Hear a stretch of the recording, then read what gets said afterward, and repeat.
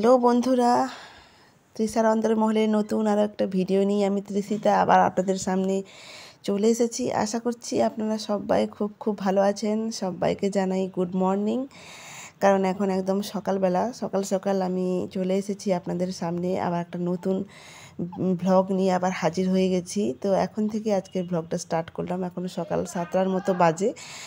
তো সকাল থেকে আজকের ভিডিওটা স্টার্ট করলাম। আর আমি সবসময় চেষ্টা করি সকাল থেকে ভিডিওটা স্টার্ট করার জন্য। তো এখন আমি আপাতত আছি আমার বাবার বাড়িতে।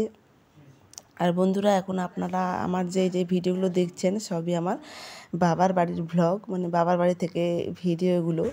তবে আমি থাকি কাঁচবাহালে। ওখানে নানা রকম খুব সুন্দর সুন্দর প্রাকৃতিক দৃশ্য বলুন, নানা রকম আশেপাশে খুব ভালো ভালো জায়গা আছে, যেগুলো আমরা বেড়াতে চাই ওগুলো নিয়ে অনেক ভিডিও বানিয়েছি। তো আশা করছি আপনারা দেখে মানে ঘুরে আসলে আমাদের ভালো লাগবে আপনাদের। আমার চ্যানেলতে, চ্যানেলের সব ভিডিও যদি আপনারা ঘুরে আসেন, দেখে আসেন, আশা করছি আপনাদের ভিডিওগুলো খুব খুব ভালো লাগবে। আর আপাতত আমি এখন আছি আমার মায়ের বাড়ি, বাবার বাড়ি মানে ওয়েস্ট বেঙ্গল এটা। ওয়েস্ট বেঙ্গলের পূর্ব মেদিনীপুর একটা গ্রাম। তো এখান থেকে এখন ভিডিওগুলো আমি সব বানাচ্ছি। আর গ্রামের ভিডিও, প্রাকৃতিক দৃশ্য, গ্রামের যেসব গ্রামে যেরকম কালচার হয় গ্রামে যেরকম জিনিসপত্র হয়, তো সেই সব নিয়ে আমি চেষ্টা করছি ভিডিও বানানোর জন্য। আর আমি প্রত্যেক দিনের ডেলি ভ্লগ বানাই। তো চলুন সেই রকমভাবে আজকেও আমি আমার ভ্লগটা স্টার্ট করলাম। আর এখন এই যে বাবাদের বাড়ি সকাল সকাল ঘুম থেকে উঠে চলে এসেছি একটু বাগানে। তো বাগানে নানা রকম সকালে অনেক আয়ুর্বেদিক পাতালতা আছে, যেগুলো খাওয়া শরীরের জন্য সত্যি খুব ভালো, বিশেষ করে খালি পেটে খাওয়া সত্যি খুব ভালো। তো এখন আমি এই যে এখান থেকে, বাগান থেকে নিয়ে নিয়েছি কিছু তুলসী পাতা।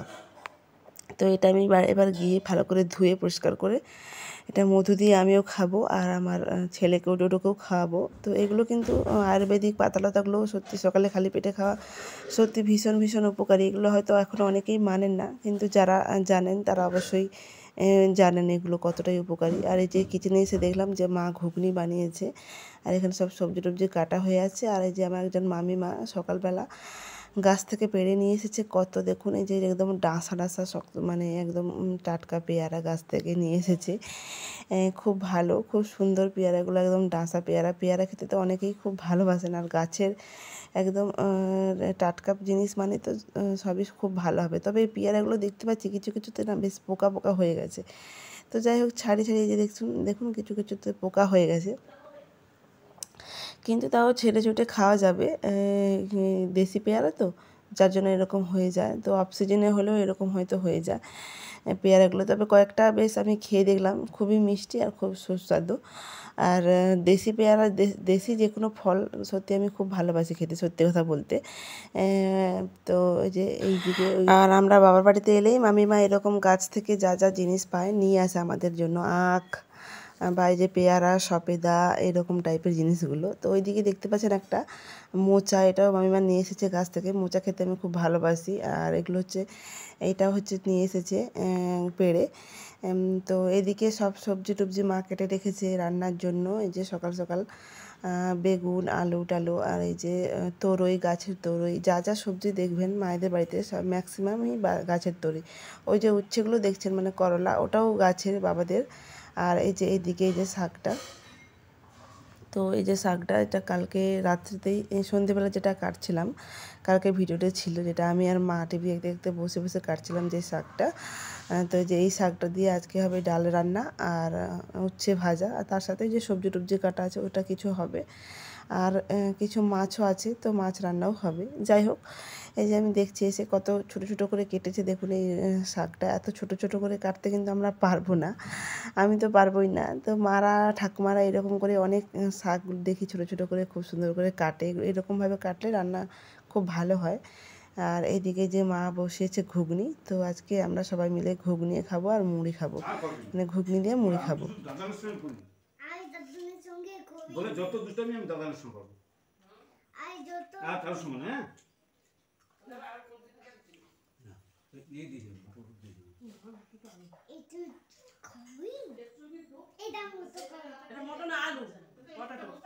পটাটো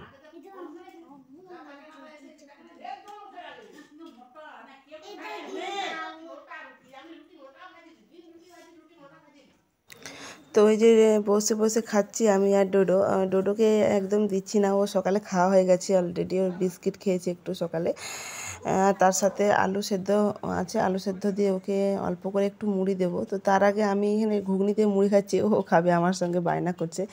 কিন্তু ওকে সেরকমভাবেই দিচ্ছি না জাস্ট এমনি অল্প একটু আলু আলু বেছে এরকম করে দিচ্ছি খেতে আর কি, ও একটু বায়না করছে বলে। আর এইদিকে ওর মোটামুটি খাওয়া হয়ে গেছে, ওকে এখন খাওয়াবো ওষুধ। আর দেখুন এই যে কত ওষুধ ওর। এক গাদা ওষুধ। তো যাই হোক, অনেকগুলো ওষুধ মোটামুটি শেষ হয়ে গেছে আর দু একটা আছে। তো ওকে কয়েকদিন ধরে এই সব ওষুধ খাওয়াতে হচ্ছে। কারণ যেহেতু একটু পেটের গণ্ডগোল চলে এসছে, সমস্যা চলে এসছে। তো এখন এই যে ওকে ওষুধ ওষুধ খাইয়ে দিচ্ছি আর ডোডোকে দেখেছি ওষুধ খাওয়ার জন্য সেরকমভাবে খুব একটা কান্নাকাটি চিৎকার চেঁচামেচি করে না। অনেক বাচ্চারা যেরকম করে খেতে চায় না ওষুধ একদম এ করে। কিন্তু ডোডো সেই দিক থেকে ওই রকম অতটা বায়না করে না। ও মোটামুটি ওষুধ ফষুধ সব খেয়ে নেয়। ও আবার কি মধু খেতে চায় না কিন্তু মধুকে আবার যদি বলি যে এটা ওষুধ খেয়ে নাও বললে আবার খেয়ে নেবে এরকম টাইপের মানে ওরা ছোটোতেই অনেকটা বুঝে গেছে যে ওষুধ খেলে শরীর ঠিক হয়ে যাবে ভালো থাকবে বা সুস্থ থাকবে এরকম একটা ব্যাপার। যাই হোক সেটা আমাদের জন্য খুবই সুবিধা হয়েছে ভালো হয়েছে। বকতে ঝুঁকতে হয় না। তো এখন এই যে ডোডোর খাতা নিয়ে এসেছি ওকে একটু হোমওয়ার্ক দেবো ও এখন পড়াশোনা করবে ওকে টাস্ক দেবো। তো এখানে টাস্কটা আমি দিয়ে দিচ্ছি।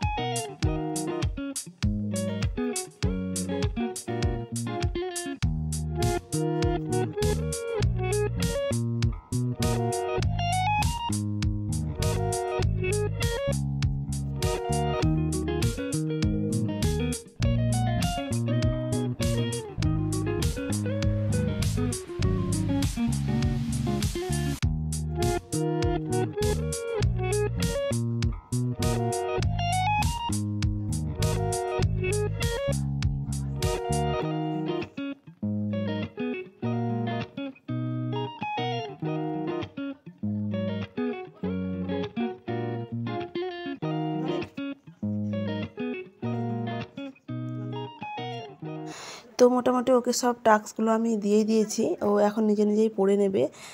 প্রথমটা ওকে একটু বলে মানে একটু বসে থাকব ওর কাছে। তা ওর পড়া শোনার একটা এ এসে গেলে মানে পড়ার একটা তাল এসে গেলেই ব্যাস, ও এবার পড়তে শুরু করবে, সব লিখ- লিখতে শুরু করবে। ওকে সেরকমভাবে বকতে হয় না। আর তারপরেই আমি চলে যাব বাথরুমে গিয়ে আমার কিছু জামা কাপড়ও কাচার আছে। মাথায় শ্যাম্পু দেবো জামা কাপড় আমার ডোডোর। কিছু কাচাকুচি করে নেব, করে স্নান টান করে একদম ফ্রেশ হয়ে তারপরে আবার ক্যামেরাটা অন করছি। তো স্নান টান সেরে দেখুন এসে গেছি, আমিও এসে গেছি আর ডোডোকেও আমি স্নান করিয়ে নিয়েছি। একদম ফ্রেশ হয়ে গেছি। ডোডো ডোডো এসে দেখলাম যে কয়েকটা লেখা বাকি আছে। তো ও বেশ আবার গুড বয়ের মতো পড়তে বসে গেছে। তো আমার বেশ সুবিধা হয়েছে যেহেতু নিজে নিজেই পড়তে বসে গেছে। যখন দেখেছে যে দু একটা টাস্ক বাকি আছে, তো সেই জন্য ও কমপ্লিট করতে যে বসে গেছে। তো যাই হোক, এখন যাব, গিয়ে খাওয়া দাওয়া করব লাঞ্চ করব। এই যে ঘরোলা পাতিলেবু ভাত একদম চটকে, দলা পাকিয়ে ওকে দিই। যেহেতু একটু পেটের সমস্যা, এইভাবে বাচ্চাদেরকে খাওয়ানো খুব ভালো। আর এই লেবুটা সত্যি পেটের জন্য সত্যি খুব ভালো, ওকে রোজ একটা করে খাওয়াই এই লেবু ঘরোয়া ঘরোলা পা- পাতিলেবু যেমন গন্ধ তেমন সুন্দর স্বাদ, আর ভাতটাকে একদম চটকে দিই, তাহলে ওর মানে এইভাবে খাওয়ালে বাচ্চাদের হজমেরও খুব সুবিধা হয় আর খাওয়ানো উচিত এইভাবে। আর এই যে সেদ্ধ ঝোলটা দেখতে পাচ্ছেন, ধনে গিয়ে জিরে গুঁড়ো, এগুলো শুধু বাচ্চাদের নয়, বড়দেরও কোনো পেটের প্রবলেম হলে এরকমভাবে ঝোল খাবেন, খুব ভালো এই ঝোল। একদম পাতলা ঝোল আর সবজি দিয়ে আর আলু দিয়ে আর মাছ দিয়ে, সব একসঙ্গে দিয়ে এই ঝোলটা।